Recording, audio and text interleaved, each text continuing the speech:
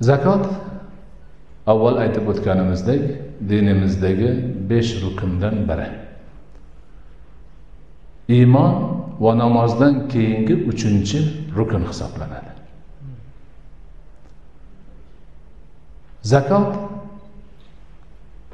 shunday bir ibodatki uni alloh taolo qur'oni karimda yigirma yettita oyatda namoz bilan qo'shib zikr qilgan.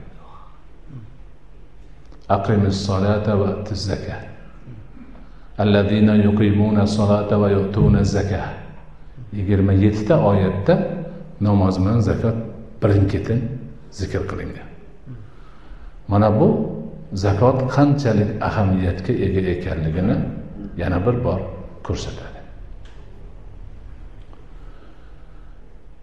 shariat mo'min musulmonlardan qiladigan talabi bir necha xil bo'ladi. Uch xil bo'ladi. Birinchi xili taabbudiy deyiladi. Mana bu ishni qilasan deb buyuradi nima uchun qilayotganini bilmaydi. Hikmati yo'q foydasiga ko'zi yetmayapti lekin bajarish kerak.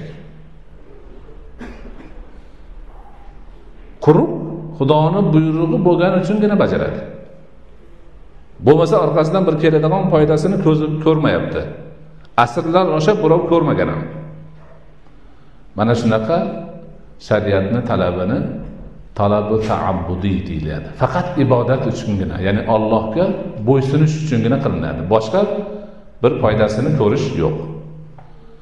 Bunga ulamolarimiz haj ibodatida tosh otishni qilishadi. Boradi toshni otib keladi. Minodan yuradi qiylanadi masofaga yetadi qilinch bo'ladi buyruqga o'xshab bir qanchasi o'ladi. Ostin ustun bo'ladi oyog'ini ostida qoladi tosh otadi shu. Nima uchun? Olloh buyurgani uchun. Mana shu ibodat haqiqiy ibodat bo'ladi. Chunki bu yerda boshqa narsani ko'zlamayaptida. Faqat xudoni buyrug'i bo'lgani uchun qilyapti. Boshqa ibodati bo'lsa aytadi ro'za bo'lsa ha xudo xohlasa sog' bo'laman ro'zani tutsam deydi palon bo'laman piston bo'laman hikmati bor deydi. Namoz o'qisa ozoda bo'laman unim bo'ladi bunim bo'ladi degan orqasidan keladigan foyda ko'zlanadigan foyda bor. Haligi taabbudiy ibodatda bu yo'q. Shundoq qilaveradi. Bu haqiqiy ibodat bo'ladi. Chunki oraga tushadigan g'arazgo'y narsa yo'q. Xos ollohni buyrug'i bo'lgani uchungina bajariladi. Ikkinchi bir talablar bor unda ibodat yo'q talab bor. Savob ham yo'q niyat ham yo'q. Lekin shariat qilasan deydi. Misol uchun birov bir odam ikkinchisidan qarz oladi. Qarzlarda shariatni buyrug'i berasan bermasang do'zaxga bo'lasan.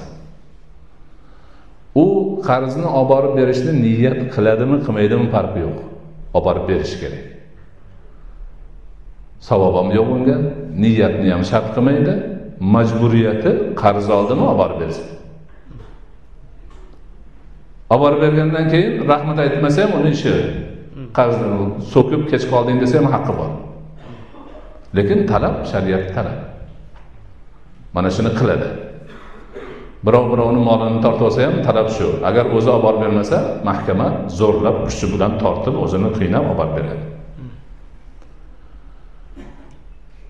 Zakot ibodatida shu ikki narsa qo'shilgan. Ollohning buyrug'i ibodat ma'nosi ham bor. Haliginday birovga pul olib borib berish ham bor. Ana shuligi ana shu xususiyati bilan zakot boshqa ibodatlardan ajrab turadi. Ham taabbudiy tarafi bor ham talabiy tarafi bor. Ana shundoq bu ibodat ikki tarafni jamlagan ajoyib bir ibodat hisoblanadi.